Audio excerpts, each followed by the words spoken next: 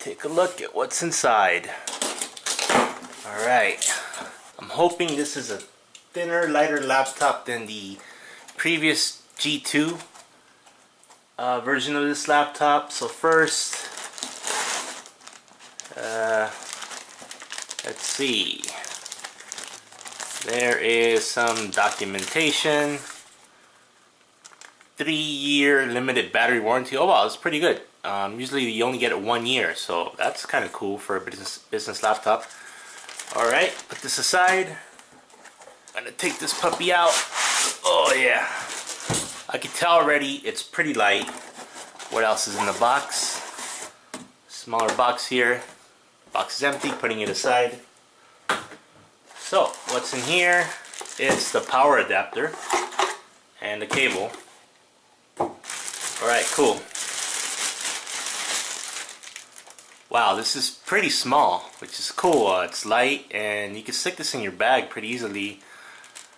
Normal ones I've had in the past were like about this big and this wide, so I'm really happy about that. Good job HP.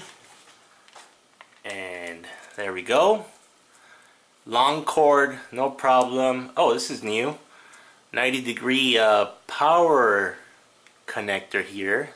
That might be helpful if the connector's on the side. Uh, most of the HPs I've had are straight connector, so I find this interesting. Uh, see how it fits.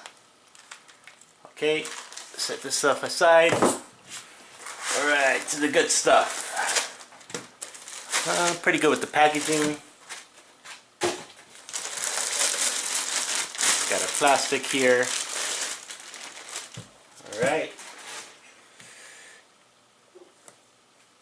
Alright, here we go little protective sheet. Alright, so this is new. It says HP SureView Integrated Privacy Screen. So if you hit function F2, apparently it changes the mode so that people can't view your screen from an angle. I gotta try that out. This is something totally new. Cool. Remove that. Alright, I'm just gonna bring this laptop closer to you guys. You can see here so it's got the Bang & Olufsen speakers, so it's going to get some good sound hopefully. I hear they're pretty good. And check this out. They included NFC. How cool is that? So let's see if I'm able to use some of the NFC functions of this laptop. That's really cool. They included that. HP has done a good job at adding new technology. So, so this trackpad seems pretty good. Seems like glass. The buttons are nice and soft and they still include this uh, track point mouse uh, and the buttons up here. So compared to generation 2 they kept some of the same stuff. Fingerprint reader I hope it's as good as the G2 G2 was pretty good. I see they kept the power button here and then the on off switch for Wi-Fi and the uh, speaker muting Okay, let's take a closer look. So I see they went with a different look. This is nice and uh, silver. The G2 previous uh, model was black. It had a kind of like a rubberized uh, feeling. This is they went a different direction this time with the G3. Alright, so let's look at the back here and yeah, it's got a vent in the bottom here. It's got the feet. It's pretty nice and it, the back feet are a little bit elevated so your laptop is kind of elevated a little bit. That's good for uh, keyboard typing which is good. Now I'm kind of disappointed that I don't see an easy release here to remove this cover which is one thing I really liked about the G2 model of the EliteBook 840 so it looks like they've gone away from that. And in order to open this you're probably gonna have to take these little rubber things out and access the screws there. So not a good move, uh, HP. I don't know why you guys did that, but it's going to be hard to service this thing. But maybe that's what they they want. They don't want you to service it. Okay. Quickly, let's take a look at the ports available. Kensington lock, cool. VGA, it's always good to have, right, for business laptop. Super speed USB. Uh, how come there's only one? Hmm, I wish there was one more. Smart card reader, uh, which I don't really use, but what do we say? We would have put one more USB port there. Whoa, I almost lost it there. So right here, we have the indicators for the Wi-Fi, power, and then whether it's charging, and then the hard drive activity. Alright, on this side we have a USB-C port, we have display port for video out, we have a connector for mic or headset so it, it does both uh, works as a mic or as a head as a headphones. Another super speed USB 3.0 port. I wish there was more ports. There's only two but I guess they give you this one USB-C I hope it's worth it. I don't have too many devices that use this but nice of HP to include it and this little drop jaw Ethernet connector, which worked great on the G2, is back on this thing. This is the dock connector. And here you can even put a SIM card, which is kind of cool. I don't remember seeing that on the G2. So one thing that I do see that's gone is the optional battery connector. The G2 used to have one. I guess they decided uh, not to put one on the G3. And let's not forget, right here, it's hard to miss, is the SD card slot. So you could use your SD card here. So, pretty cool. Some improvements. You know, they added NFC. They added this uh, USB-C port. They kept this cool Ethernet connection. They added a SIM card.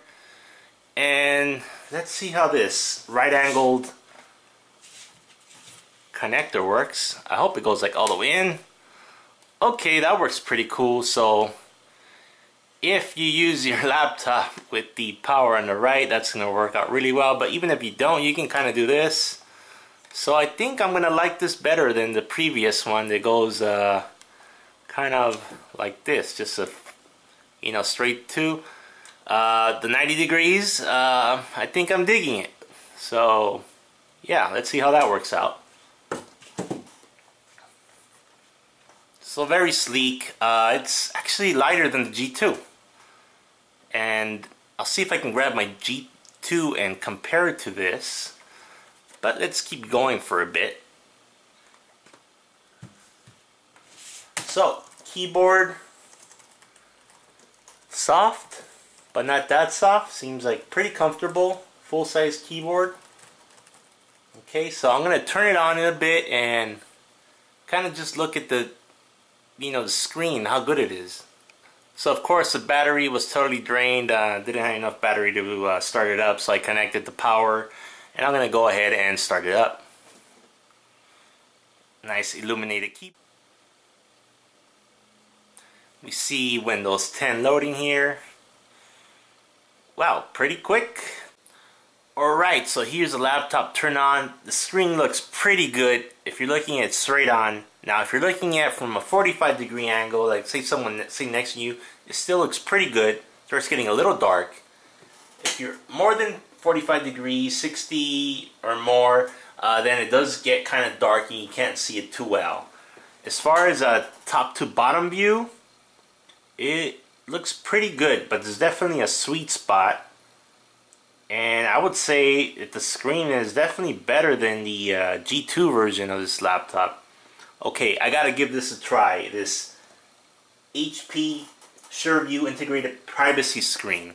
So by just hitting function F2, it's supposed to kind of like set up the screen so no one can look at you over your shoulder and see what you're doing. Let's give it a try. Function F2. Okay. If you're looking at straight on, you can still see it, right?